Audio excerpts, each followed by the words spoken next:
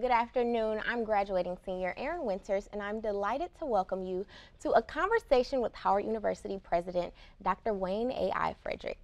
This is the third installment in a series of webcasts that will take place periodically throughout the year. Today's discussion will focus on Dr. Frederick's vision for strengthening the university. The discussion can be seen live on howard.edu, whur.com, and whut.org. We already have quite a few questions for you, Dr. Frederick, submitted through social media. But first, let me start with one of my own. What are the top three goals for the university in 2016? Sure. Well, before I answer that, let me first say, Ms. Winters, thanks for doing this, and uh, we certainly are proud of you. And having a student um, interview me says a lot about what Howard University is. In terms of the goals of the university for 2016, the first I, I, would say is to make sure that we're providing academic excellence. And that will always be one of the top priorities for the university. We're in the business of educating young men and women, and we have to do that in an excellent fashion. So the support services that allow us to do that must be delivered in an excellent fashion. And I would say that that's the second goal, um, or second top priority. We have to make sure that our support services whether it's in residence life, financial aid, um, in the bursar's office, admissions, all of those services have to be done in such a way that it's customer friendly. It's easy for students to navigate the system and their parents. And again, um, enhances the entire experience here at the university, and that's certainly critical. And I would say the third is to make sure that um, fiscally uh, we are not just solvent but thriving.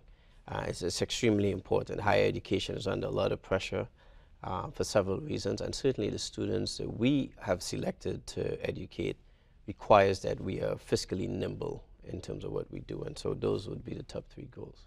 Okay. So the next question is, what was your greatest success in 2015 for the university? So, you know, I'm, I'm not one to look at successes. I'm, I'm trying to look at the problems and, and get beyond them.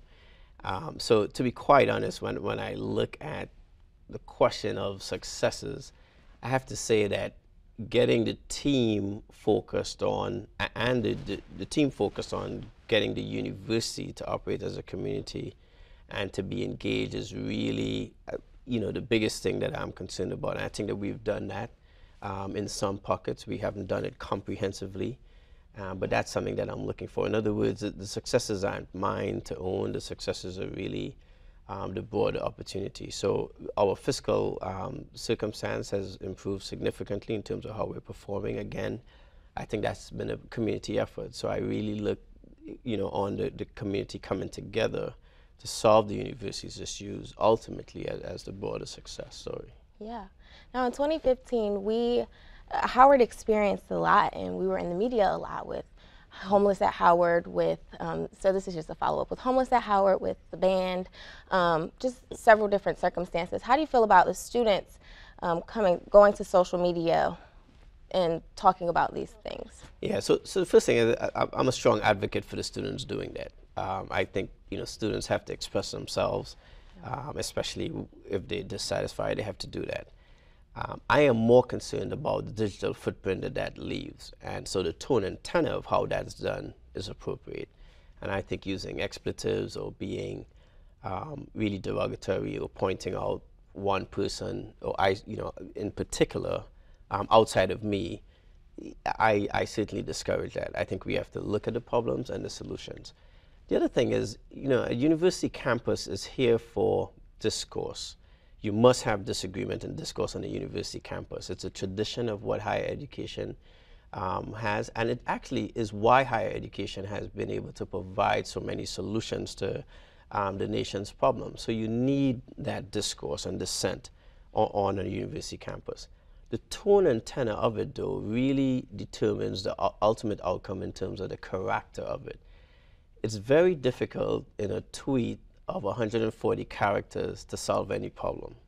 Um, you may examine the problem, uh, but in 140 characters, it's, it's kind of difficult. We are bringing people to university campus for the purpose of dialogue. And while social media is an avenue, it provides instant gratification of releasing you know, your opinions about something that has occurred.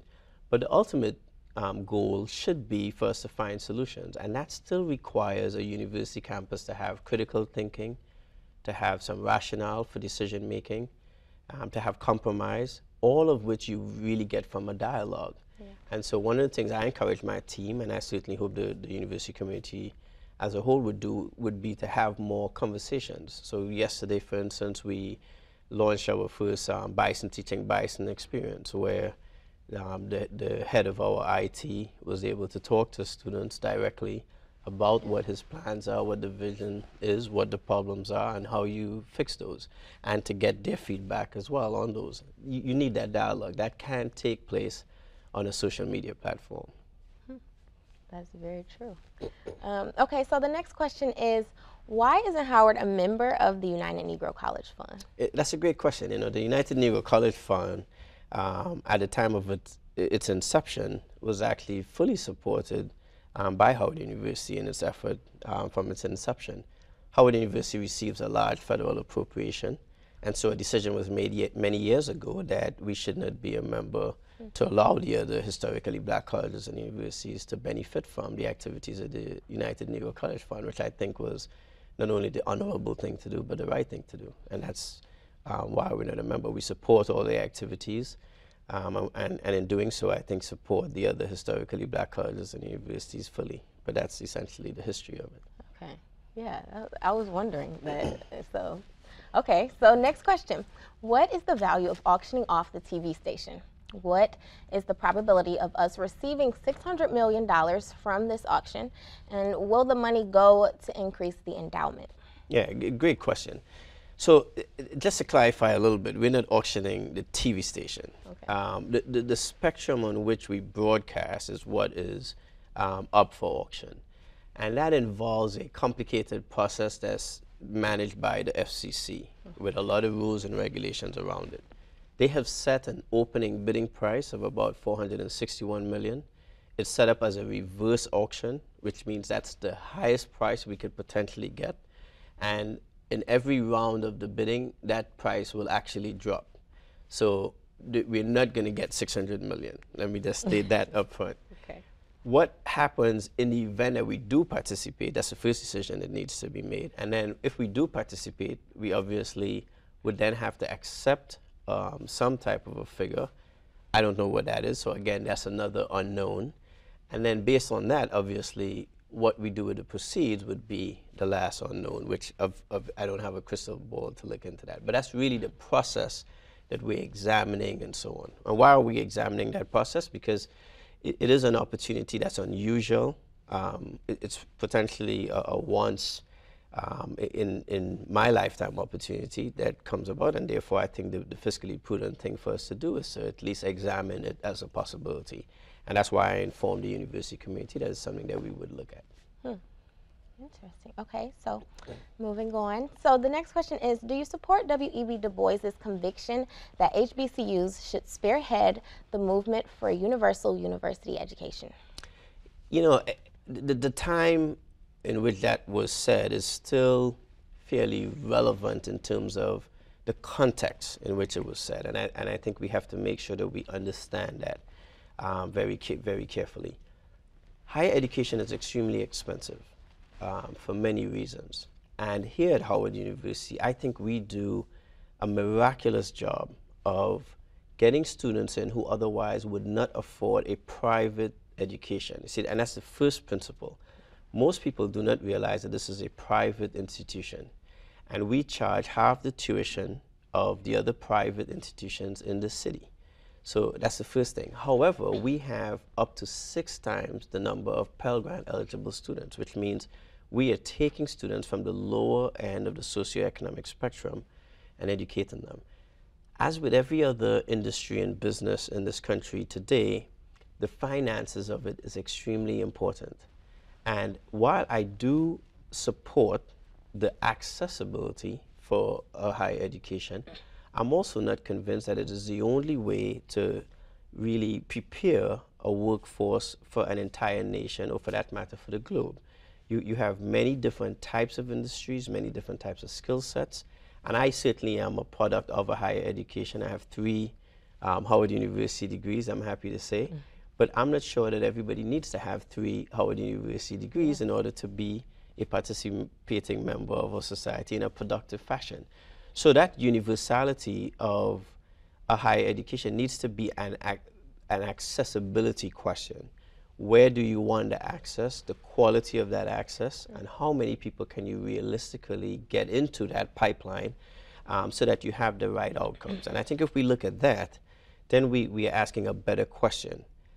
We undervalue teachers in this country. We want a public school education system between K through 12 that's can, that can compete with anyone in the world, but yet still we don't pay our teachers, or for that matter, grant them the type of respect they had when I was in K through 12. Right. I mean, when I was in K through 12, my teachers were next to the priests in right. terms of you know how you viewed them outside of your home. Yeah. Um, and, and so that type of reverence and respect for educators is something that we have to look at. The young men and women who teach here at Howard University um, are doing so at a price that's significantly below market. And I think they do an excellent job and deserve to be at market. But again, someone has to pay for that. And if you talk about the universal education, then you have to think about who's going to pay for the facilities that are required, who will pay for the deferred maintenance, who will pay for the upgrades. And by the time you do that, you're talking about a very significant bill. So I think, yes, the, the principle of what um, he was speaking about at that time in the context is one that is one of those grand ideas, but we have to have some serious discussion in this country in order to get from that point um, to, to bring that to a reality. Hmm. Okay, so Shaky Dance asks, when will the Theater Arts Department get scholarships for the students and money to be able to support the program's needs? I, I like Shaky Dance's um, tag. Let me just say handle. absolutely, I like the handle. the the arts program in general is one that you know I, I think is very very dear to the nation in particular.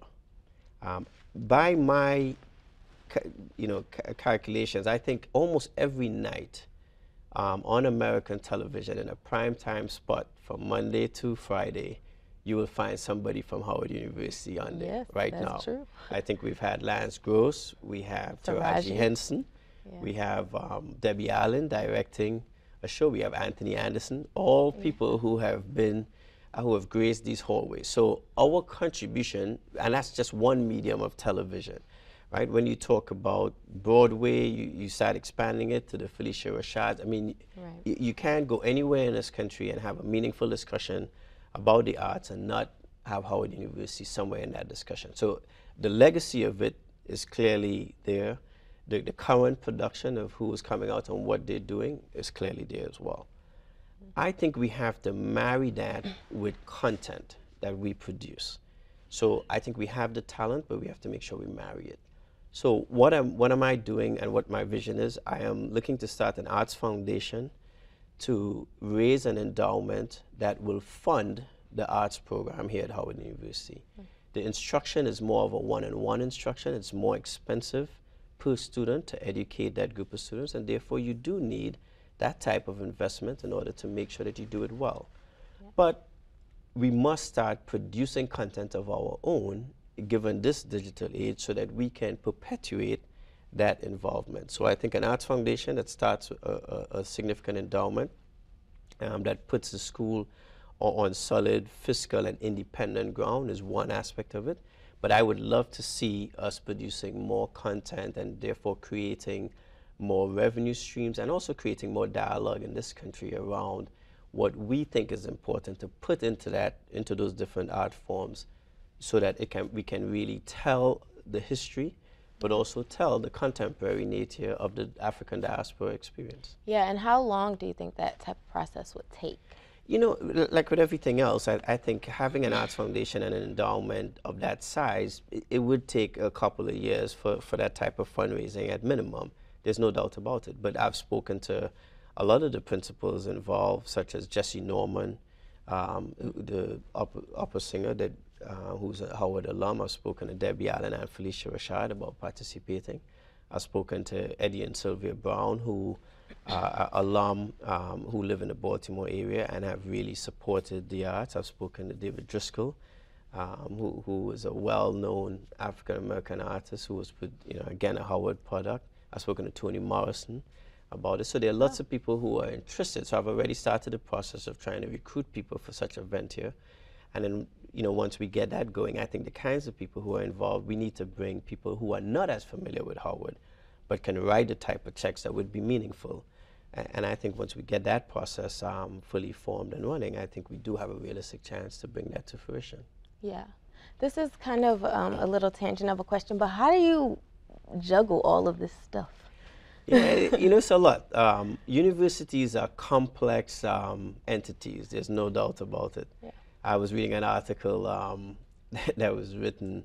It was in the University Business um, uh, magazine. is talking about the college presidency is an impossible job, and sometimes it is because people expect you to be an academic. They expect you to um, be a good manager. They expect you to be fiscally responsible.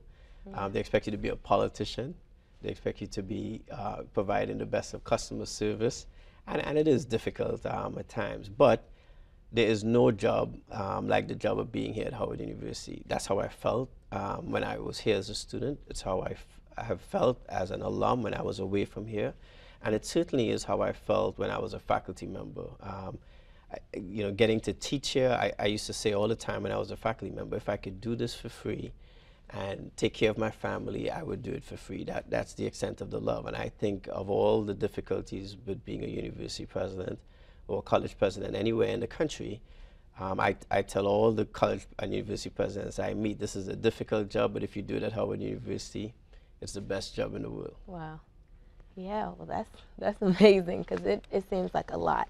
Um, so, okay, so Adore Desire asks, another question. She says, What is actually going on in the towers? Are there any real renovations taking place? Sure. You know, this past summer, we put about $5 million of renovations into the towers. And a lot of those things are things that are what I call behind the walls. So they're not things that everyone can see, touch, and feel, but it's a building that I myself lived in um, back in 1991. Um, and so it's an old building. It requires probably about $50 million worth of renovations today to bring it completely um, up to speed. So putting in 5 million obviously is a drop in the bucket. Uh, one of the things that we are seriously looking at is whether we should privatize the towers and bring an outside firm in, um, have them probably purchase the towers from us and use their capital to renovate the towers completely. Um, and then you know, uh, we can help manage um, it as a residence life facility, uh, but under that private entity. And I think that's something that we have to look at because the capital that's required is capital that we need now, and it's not capital we can wait to raise. And given the fiscal circumstances, we have to be innovative about how we fix those problems. Now, to do that type of work all in one summer is also unrealistic, which means that there's the risk of having to shut down one or both buildings and then that creates the, the conundrum of where do you house those students. so these are complicated problems, but they're problems that we are actively um, trying to get solutions around, and hopefully by January we would have a decision made around that type of an issue. Okay, so in terms of the towers, where, what exactly was, excuse me, what exactly was renovated? What did? Yeah, so so we've done a lot of things behind the scenes. We've worked on the HVAC system. Um, we've recently, as a result again of, of some of the aging and breakdown, uh, we, we, had to change um, what we do with respect to IT and the drops um, that were done. Uh, as you know, we changed the entrance. Um, th there were a lot of cracks because of the some prior winters on the um, flooring as you walk into the towers. We changed that as well. Um, on it, a lot of the rooms uh, required uh, some mold um, some mold de decontamination. Um, that was done extensively throughout those. We did painting in those areas. We had a lot of uh, walls that needed to be repaired. Those were done as well mm -hmm. um, in the summer. We recently had to replace all the heating system um, as well. We've done that. Um, the water heating as well, um, you know, is another area that has been done. But by the time you add that up, for the number of units you're talking about in both buildings, as I said, $5 million is, is but a drop you know, yeah. in terms of what needs to be done. Yeah, I think it's good that you explain everything that was done because being a student, I hear a lot of students say who live in the towers, um, they may say, I don't know why all the money went to the lobby, but my room is still in the condition that it's in. So how do you prioritize what? Yeah, so the, what was spent in the lobby of the five million was probably not even a good two percent uh, of all the money spent, um, to be quite honest. And then you, you have to remember, I think a lot of times when we look at our own individual circumstance for our room, despite the best efforts, um, if if a single unit or room requires, you know, twenty thousand dollars worth of work, and we do, you know, even if we did five thousand dollars worth of work in that room, which is probably not the case, we probably did maybe twenty five hundred dollars worth of work, to spread that about the entire building. Even the things that you do fix um, tend to become marginalized over what overall still needs to be fixed. Um, like I said, it's, it's difficult without capital to do all of that. And two, it's difficult if you decide to shut it down and do it, you know, how to do that. And then you have to remember, during the same period of time, part of the strategy was to diversify our revenue stream and to use buildings like Meridian Hill, for instance, for the purposes of trying to bring in a new revenue stream. So just imagine having the towers open at the same time and Meridian Hill, both of which are old buildings that yeah. require a lot of renovations. If we then had to divide the five million between the towers and Meridian Hill, it would be even worse. Now the strategy is working because we currently do have a contract that we're neg negotiating for Meridian Hill. We will still own um, the, the, building, but using a private partnership, we'll be able to convert that into condos and create a revenue stream to the university. So it is working. Everything just unfortunately can't happen over the once, summer, right. right. I can't sell I, you know, I, I can't cut a deal for Meridian Hill in the summer, get, you know, 20 something million in and then turn it around and fix right. the towers all at once, all in a three month period. And, and unfortunately, um, while for me uh, and my vision, um, I, I, have the months ahead to look at, uh, for the average student, um, it's a transient experience. And, and you're staying in the towers like my staying in the towers um, was a year or two years. And so my explanation that, you know, come back in 2017 and the towers would be great doesn't help the student who stays in the towers in 2015 and 2016, unfortunately. You know, when I stayed in it, like I said, it was new, so it was, you know, the high end of all of it. But and then moving there from Meridian, you know, I felt like I had moved uptown, to right. be quite honest. and now, unfortunately, it, has been many years that we have to, you know, yeah. restore it to that type of glory. Yeah. Okay, so the next question is from Adore Desire. Can we please have screenings for administrative workers? Your job, she says, your job entails dealing with rude customers sometimes. Um, you shouldn't reciprocate. Yeah, and I, and I appreciate that. And, and I assume that what um, that person is asking about is, you know, obviously sometimes people are going to come and yell and scream and, you know, the customer is always right and you, you have to respond. That is not an innate human behavior. Um, if 10 people come and yell at you, um, after the ninth person, it probably could be frustrating. And the reality is, when you look at the services we provide, the biggest need that students have on this campus is finances. 94% of the students on our campus get financial aid, which means that from a customer service point of view, you're dealing with 9,400 plus people where they're getting financial aid. When you compare that to some of the larger universities, they are probably providing that service to 10 to 30 percent of the people, depending on the circumstance. And some of the universities have large enough endowments that they insulate themselves from the neediest students, right? So at Harvard, if you come from a family income of 125,000 and less, you get a full ride at Harvard, which means the people who may have the biggest gap in financial aid and, and have the biggest need and have to show up to the office, you've taken them out of the system. We would ultimately like to get there, right? My, my vision and dream is that any Pell Grant eligible student who comes to Howard University gets a full ride. That's ultimately what I would like to see. It, but it means that we ha probably have to provide for less of them.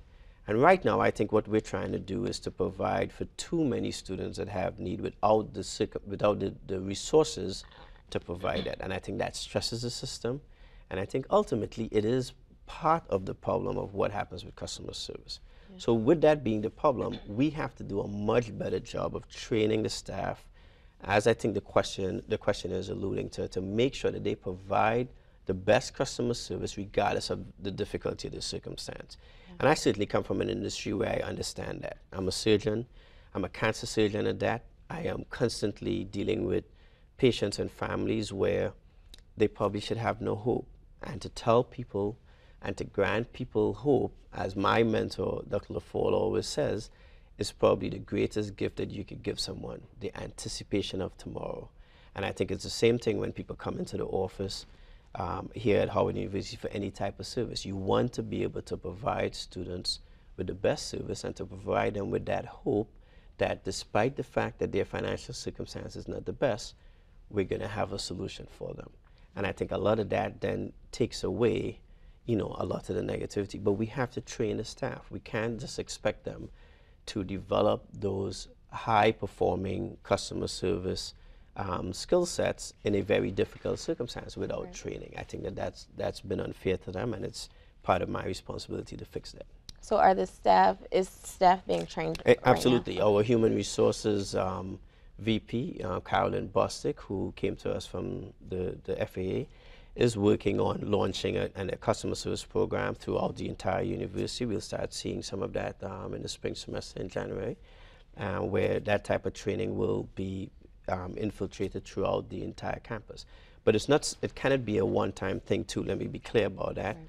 And to make sure that I set the expectations, it has to be something that's ongoing, right? It has, it has. You were just asking me about it's difficult um, running a university. There's no doubt about it. And there's sometimes when, you know, I probably close my door and I'm like, I just wish that you know some of these problems would go away. But the reality is they're not going to go away. When I open my door, they're right there. I can't express that same frustration um, publicly or, or at every problem. And you know, only 16 people have done this job prior to me, but I get advice from every single person I met about how to run the university. You know, so all of those things I think you have to take in stride, and we have to, you know, always be at our best in terms of providing customer service. Yeah, and is this like the first? Is this the first time something like this is being implemented? Because um, it kind of seems like it's been an ongoing thing for Howard. So is is this the yeah. first time that customer no, I, I, I, think it has, um, probably every president has done something to tackle it, right? My predecessor had students first. Um, his predecessor had customer service training, professional development, a leadership academy um, where, where the staff could advance, etc. I think everyone has tried to approach it. I think what's different this time is that my recognition of the problem, um, I think, is just a little different. Um, I have seen the problem as a student, a faculty member, an administrator. Uh, when I did my MBA in 2009 to 2011, I was a full-time faculty member. Most of the students in my classes had no clue I was an associate dean in a medical school. Mm-hmm. So they freely shared their frustrations and advice with me.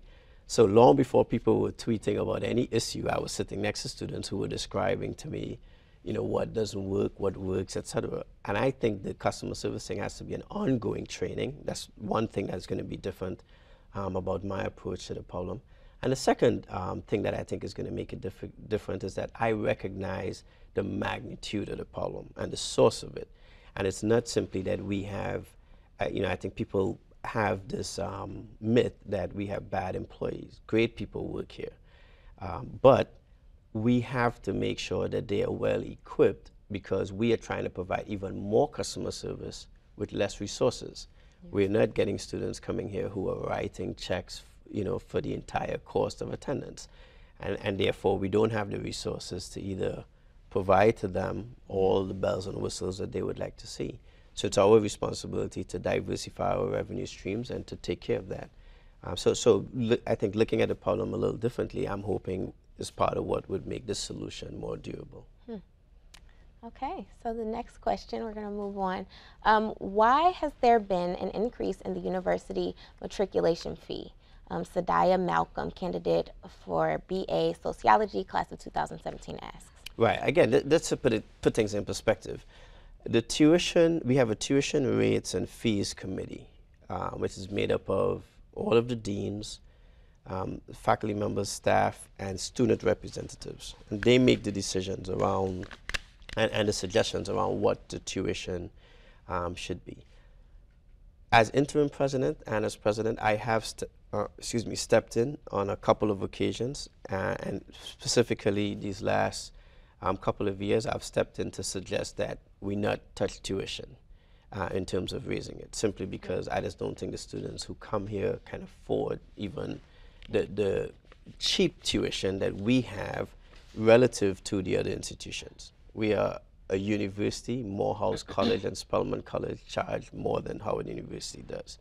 In the city, as I told you before, the other institutions in the city charge twice what we charge. Mm -hmm. So we clearly are a great bargain, especially when you look at our graduation rate, the fact that we have students from lower income circumstances, et cetera. So with that in mind, we, we have our tuition rates and fees committee and they decide what the fees should be. And part of how they decide what those should be is they look across um, the spectrum of the other universities, regional peers, and HBCUs, and they look at what those prices are, and they also look at what we're using the fees for. And with the matriculation fee, when you look at processing um, degrees and, and those types of things, they look at what the cost of that is, and they set the price based on that. And that fee still is the lowest in the region uh, right now. So we still think that, again, we're providing a bargain. Okay. Okay, so the next question is for majors that traditionally require more than four years, such as pre med or engineering, why aren't there mandatory equivalent summer bridge programs in place similar to what's in place for pre med? Tanya Spry, School of Engineering, class of 92, asks. Yeah, so I, am I'm, I'm, I'm going to disagree a little bit. Okay. Um, and, and, I'm not I, am not always one to disagree with students, but I'm going to disagree on this a little bit. It, I obviously did Howard's BSMD program, two years undergrad, four years med school. I am not sure a college education requires four years. I'll, I'll put that on the table. Um, as much as I'm manning an institution right now that requires four years, I'm not sure we, we need that we have 120 credit hour requirement for all majors at the university now, and that was part of why that came about. Recognizing that what are truly the requirements that are needed, and how best can we get students to get those requirements so that they spend the least amount of time here and they get out on time, right? And, and I think we have to look at that. So our general education reform that was conducted um, within the past two years was aimed at that. I've said this before publicly. I'm not sure that every student who comes here has to learn to swim, right? We, everybody has a swimming requirement. There was yeah. a swimming requirement when I was here as a student, right? Um, now I'll tell you this: I've looked, I've gone to that swimming class myself. I've gone, I've looked at other people go to the swimming class, and I'm not sure how many of those people really learn to swim. right. Right? Most of them can swim in the shallow, as all of us can. But right. the same people who were fearful of the deep end by the end of the semester are, are fearful of the scared, deep end. Right. And I'm not sure they can save themselves. Now, it came about, there's a practical reason for it that I don't want to diminish. And that's because African Americans are five times more likely to drown than their Caucasian counterparts. So there clearly is a public safety issue um, that Howard University, again, is trying to be at the forefront of addressing. But I'm not sure that's the way to address it, mm -hmm. right? Same thing with um, speech. Uh, we almost all had to take it into the speech class. Yeah. Well, what, why do we want you to take it into the speech class? What we're really getting at is the competency of being able to articulate your thoughts and ideas in as, as elegant a fashion as possible. You don't need to take a speech class. You, you do that in marketing, you do that in so many other classes you take. What we need to do is to make sure the competency is gained. And so I say all of that to say that some of the requirements now we have been seriously looking at to see what is necessary and to make sure that we're giving you absolutely what you need. Mm -hmm. We don't need to give you too much more than that because we also want you to have a liberal arts education. And that's important because regardless of what field you go into, we want you to have the compassion and the humanity of understanding the world around you to make sure that you go out and apply what you learn in, in, the best way possible. So we can do that more efficiently by looking at those, and I think we're getting better at it. So even in areas like engineering, where the degree requirement at one point probably was almost as high as 145 credits, I think, wow. all of that is now significantly down. And we, so I'm not sure bridge programs in the summer is necessary. I think looking at the general education mm. requirements and making sure that they're just right is a better way for us to invest money and for that student to pay for the right things um, so they're prepared to finish on time. Yeah. Um, I have a kind of a follow up. Are graduation schemes being updated? That's absolutely right. We purchased a software, Degree Works. We now have a graduation scheme from every major um, across the enterprise. Uh, we've beta tested Degree Works. It's a software that we purchased so that when you go in to register, it will flag you immediately to let you know if you're on track, if you're not. Um, it will direct you to a faculty, uh, an advisor if need be, because you may have fallen behind. If you decide you want to take a class because you have a general interest that's not in your scheme, um, as I um, was, was very interested in, I was interested in business and art, etc. And I wanted to do as many classes as possible. That was that is not practical, and I don't um, I don't advise that. We will we'll have you sit with an advisor, and you may still have a burning desire to take that economics class, despite the fact that it's not a requirement. And once you engage with the advisor and everybody's clear, we can still keep you on track. Then fine, you know that would be approved. So so all the graduation schemes are in. Um, all the, the, chairs and the faculty have worked on those. Um, you know, and a lot of it is very difficult when you look at the complexity of the general education requirements, but I think we have agreement from all the departments and th they've been loaded. We've beta tested Degree Works and we should be able to launch um, Degree Works within the, the, coming six months. So registration for fall of 2016, I'm hoping will completely be done through that software. Wow, that's, that's, that's great. So the next question is, is the six credit rule available for seniors graduating in May 2016? Um, if so, can you talk about the rule restrictions, facts, process, etc.? If it's not available, I would like to know why it has been taken away. Sure. So this, uh, this just to give some background and history, this did not exist um, previously. And then um, during my predecessor's administration, um, this was instituted. And that rule was that if you were within six hours um, of uh, six credit hours of graduating, you will, would be allowed to walk. You get a cap and gown, et cetera, and be allowed to walk. Um, again, done with good intentions. Um, the mm -hmm. spirit of it, I think, was the right thing. Like everything else, though, um, you have to examine how effectively it works and what are the ramifications. And it has significant legal ramifications. The students who walk, who have six credits left, um, albeit a very, you know, very, very few of those students, um, decided that, listen, you allow me to walk. The president stood on the stage and granted me my degree. I'm finished. I want my diploma. I'm not coming back to do my six credits. And I think that that violates our academic integrity, plus it puts us in a legal bind. Um, so I made the decision that we would no longer um, have that six-hour credit rule um, people would have to complete all of their requirements um, before they could walk. So that when I stand on that stage and I say that by the power vested in me, you know, you um, have now graduated, we don't have any loopholes um, or, or, any issues around whether or not that person has finished.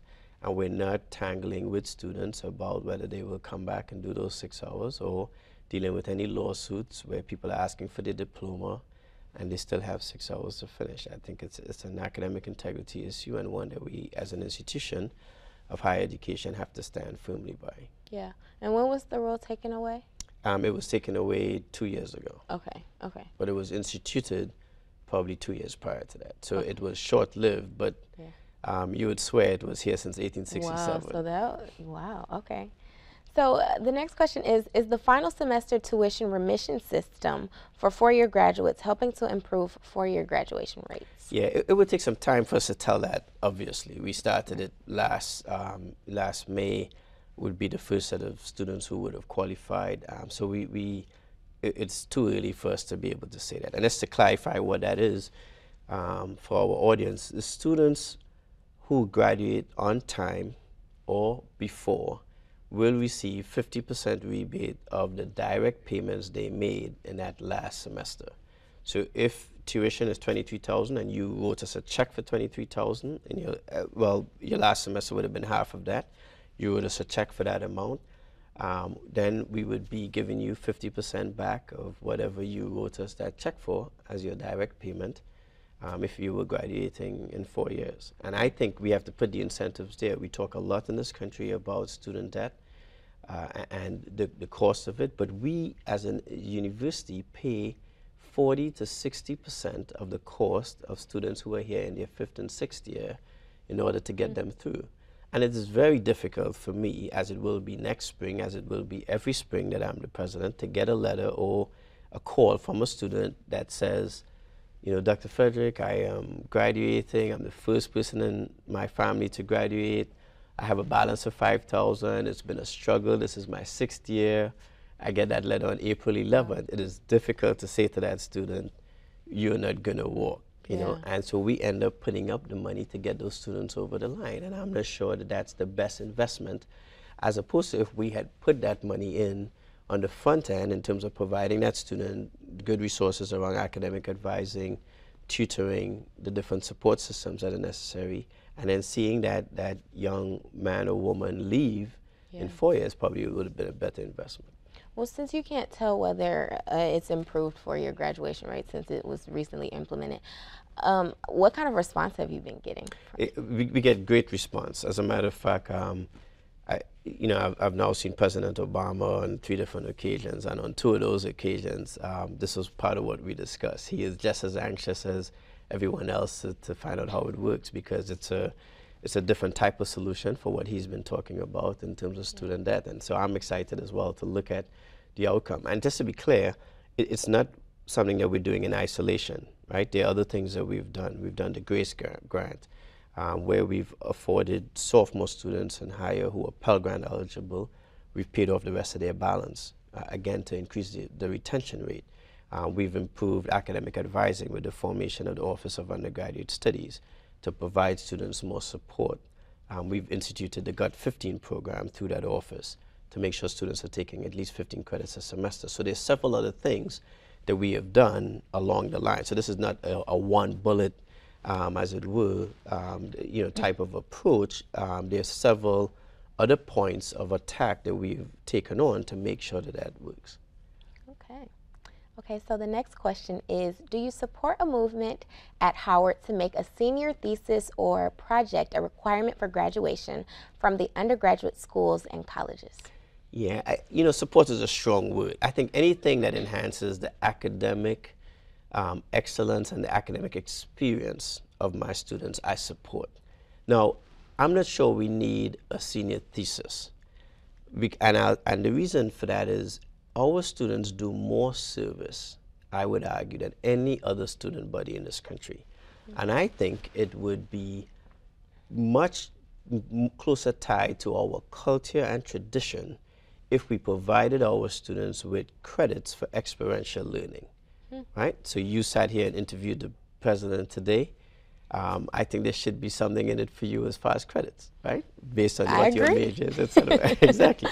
And I think the, the cumulative if, if impact of, of you doing these types of things should be part of what gets you to graduation because you're doing exactly what it is we ultimately are trying to train you and educate you to be able to do.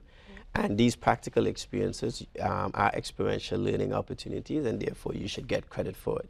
I think that's more in the Howard tradition the students who participate in alternative spring break, the students who are part of the freshman experience and go to the African burial ground in New York with that group. All of those are things that I think students should get credit for.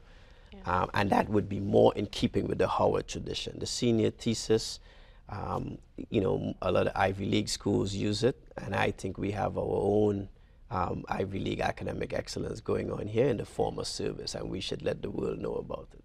Hmm. So that kind of actually uh, leads into the next question, which is do you support a service learning component as a requirement for graduation from the undergraduate schools? Well, I think so I answered that. Absolutely. Absolutely. Okay, so we'll move on to the next question.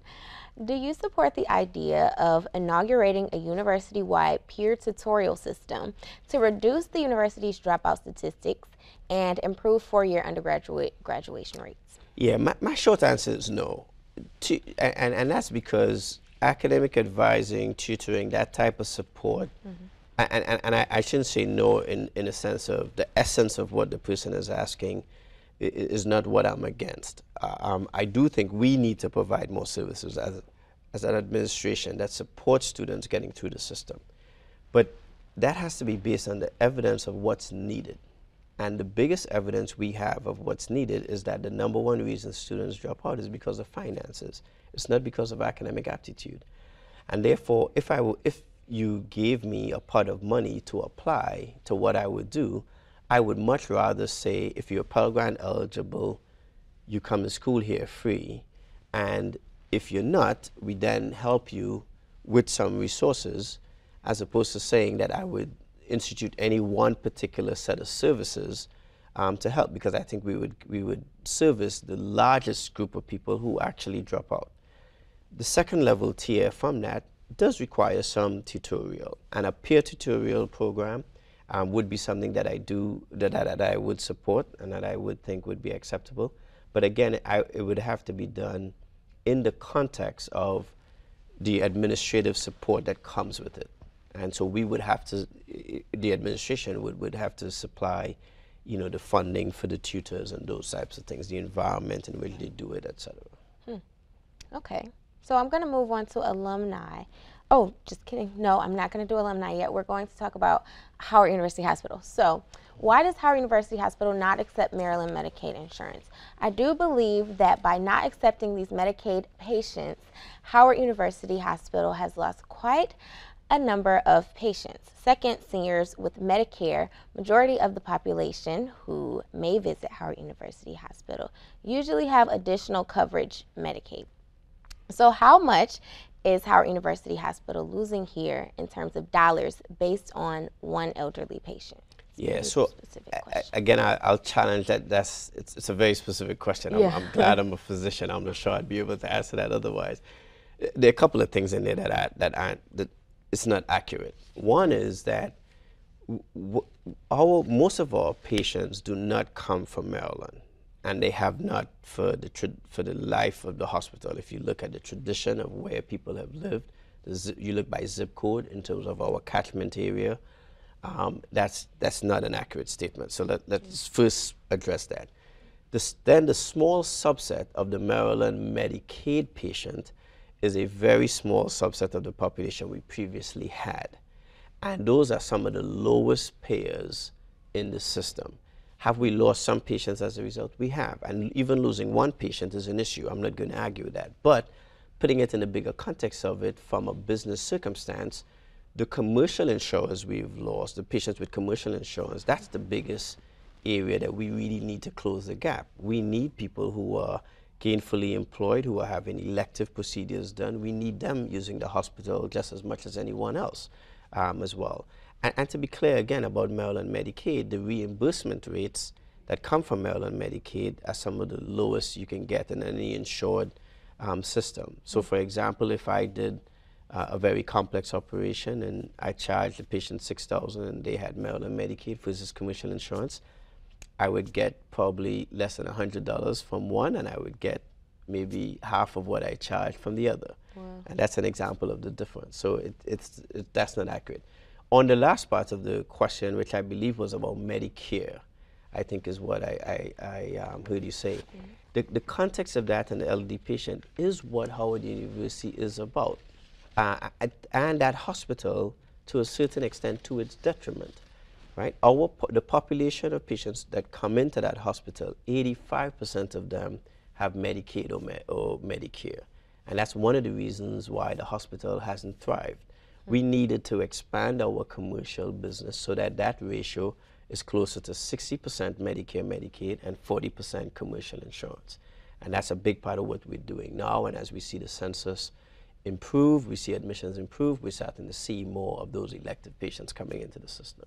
Hmm, you tackled that well, doctor. okay, so the Cigna plan that Howard University has contracted is one of the worst. If I had a choice, I would opt out. I think as employees, we need to have choices. I would rather pay a little more for a premium, but be happy with the um, with the coverage of choice.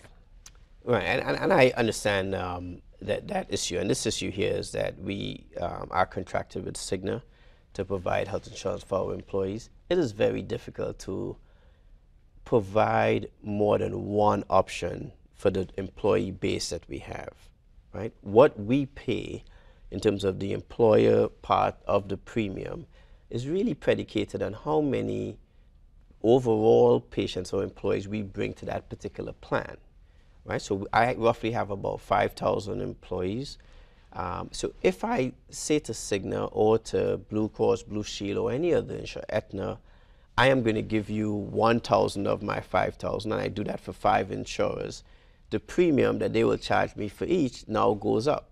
And it could go up significantly because instead of getting 5,000 people, they're getting 1,000. Mm. Right? And then depending on who in that, who in the 5,000 picks any one, if all my elderly patients pick Blue Cross Blue Shield, the, my elder, I should say my elderly faculty and staff, then the premium is even higher. So it's a very complicated circumstance.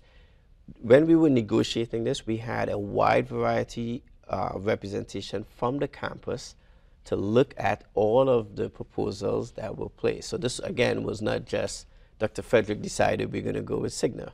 We had all the insurers come in, they gave their proposal. We had people from the faculty and staff and retirees all involved in trying to decide, help us decide which one. And the recommendation I got from them was that we should use Cigna. Okay. Okay, so we're gonna we're, now we're gonna move on to alumni. okay, so how can alumni help you reach your goals for the university? Uh, alumni are key. They are a, a major part of um, the anchoring system that yeah. must help us, um, you know, really grow from a foundation point of view. And the primary thing I, I need from my alumni is engagement. Um, obviously, we want them giving, but I want them giving because they understand what we're doing. And that engagement is key. And I think when you have complete and total alumni engagement, it allows you to do all the things that you need to do. So homecoming is an example. Uh, we have open houses on the Friday. I gave a State of the University address to the alum. As much as my alum um, there's nothing like an HU party and they come to homecoming and have a good time. I want them to come on campus, go into the classroom, go meet the dean. We've created a circumstance for them to do that. I've created a State of the University address for them to come and hear about the university. So they need to be engaged. And that's the, the number one thing that they can do to help me to understand my vision, um, to look at these webcasts so that they can understand you know, wh where we're going because there's no one address can I answer every single question that they may have. But that yeah. repeated engagement, the repeated venues that they can hear from me and also hear from my faculty and students um, gives them a better opportunity to understand what we're doing and, and to get involved and to lend their talents to that effort. Yeah. So what trends are we seeing with alumni engagement? Is it growing? It, it's absolutely fantastic um, I, have got to tell you, uh, for years, I think um, people have berated our alum, and I'm happy to say that in my first year, alumni participation in giving is up 47%. Wow. Um, so we've had more alum um, donating than ever before.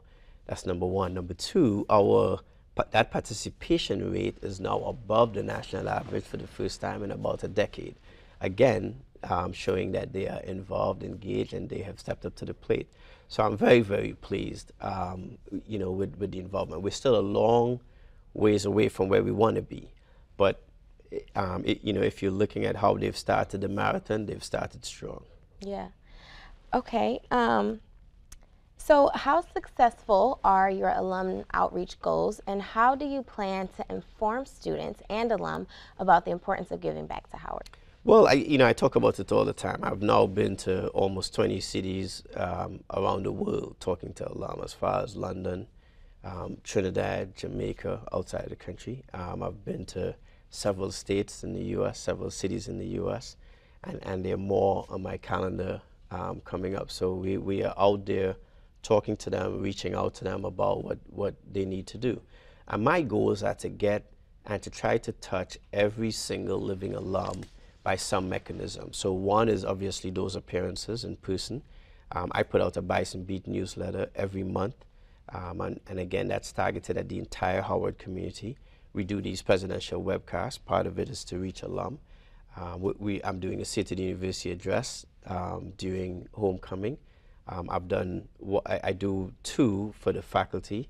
Um, the students have engaged me around doing one directed at them, to, which I've agreed to do.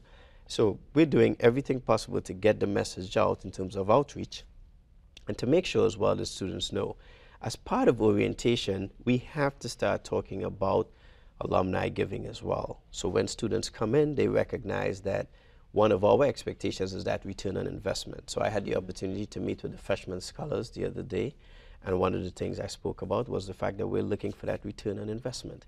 One, that they go out and they're excellent at what they do, but they have to look back to the university and give back. And that's something that we expect. Um, we're going to use students um, to make phone calls to try to raise mm-hmm. funds. I think that's another way to get students engaged in the process so they understand the process and they can participate in it as well. So we're, we're active on several fronts um, to make sure that everybody understands that giving has to be a very significant part of what's going to drive the university. And that's what the data currently is suggesting in higher education. Yeah. And what do you think? So, do you think it's that engagement that is um, heightening the give back rate? I, I think so. I, I, think that engagement is heightening it. I mean, Giving Tuesday um, was this week. Um, last year we did it uh, for the first time. We had roughly over 300 donors. Um, this year we had over 600 donors. I think that's a classic example of the engagement. Um, I do the daily drum on the on WHUR um, once a month. I think I'm on there next Tuesday um, evening. I have my own radio show that comes on the journey for 15 minutes every Sunday after chapel. So again, I, you know, I think there's a lot of, and I and I mention those because I get a lot of feedback from people who are listening, mm. who are tuning in on a regular basis, and I think again they're getting more and more information about what they can do. Yeah. So I did a story actually not too long ago for the Howard University News Service, and um, it was centered around the Take Back HU movement and alum the alumni factor. So when I was doing the story, I spoke with quite a few alumni, and some of them expressed that a lot of the things that they went through were things that were stu current students were going through as they saw on through the movement on Twitter, on social media. Do you think that has anything to do with the alumni give back? You know, I, I, I hear that a lot. Um, and I have to accept that because that's what people say. Um, I don't fully accept it. Mm. it. Having said that, I, I can't say that I fully embrace that notion. And that's because I am a triple alum of this university. Um, I came here, I stood in a line that I have never seen the front or end of anywhere I've ever been in any other circumstance to get registered, um, to get my picture ID, etc.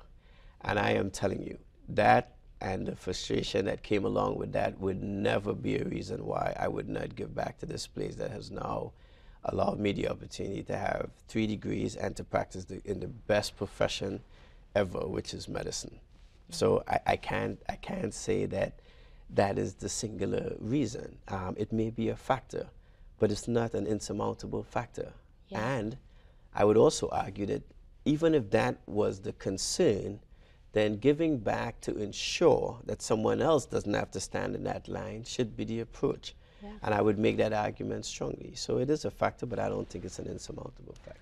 Okay, in like 20 seconds, if you could say anything to the student body, what would you tell them right now?